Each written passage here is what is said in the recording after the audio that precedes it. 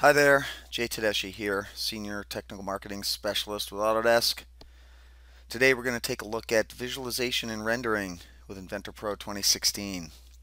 We'll start off here in the at the top level of the assembly for the BAC Mono and we're taking a look here at a couple of different rendering modes. Um, a second ago we were looking at uh, wireframe with hidden edges.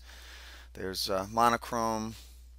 This is uh, technical illustration sketch illustration. There, I mean, there's a lot of variations, a lot of ways of presenting uh, the model.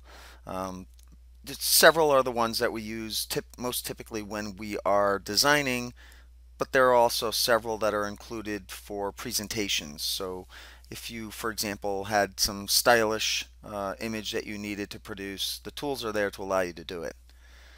Uh, quick quick switch over to the view environment allows us to take a look at some things which are easily customizable and can really help you tweak these uh, rendered views or illustrated views uh, regardless of the type of output. There's a lot of different uh, methods of tweaking what that rendered or, or illustrated output is going to look like. Uh, take a look right now at the ground plane settings. So we can get this nice grid effect uh, if that is something that you deem uh, pleasing. Uh, within there you can control uh, for example reflection, the, the blur of the reflection, the fall off, um, essentially how the reflection is going to appear on the ground plane when it's enabled, which I will do right now. That looks really nice. Now let's uh, move up to a realistic uh, rendering mode, which in essence, if it's enabled, uh, automatically sets Inventor into ray tracing mode, which is, you know, I didn't change that, so obviously uh, we are ray tracing right now. As you can see, the effects are quite profound with the inclusion of the ground plane, the reflection, kind of looks like it's sitting on water. You can also change the uh, interactive uh, lighting environments. I'm changing to infinity pool right now. Uh, this type of uh, rendered environment uh, tends to uh, work really really well when we're ray tracing as you'll receive reflections on of the environment on the body of the model itself as well as the reflections uh, on the ground plane which are quite stunning in this view.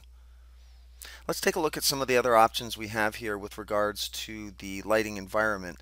Now some of these uh, IBL environments include uh, scenery. So for example this one, the Stuttgart Courtyard, and we're going to go in and edit this one right now for the sole purpose of we're, we're trying to make it make the object, in this case the BAC model, appear as though it's part of this scene. So what I'm what I'm going to do here is look at the, the directions of the shadow in the back of the image there, and we're going to try to rotate the shadow around underneath our BAC mono and try to match the light direction that exists in the lighting environment, uh, that, that dome. Uh, the reason for this being is we want this, you know, to, to the human eye, we want this to appear as natural as possible.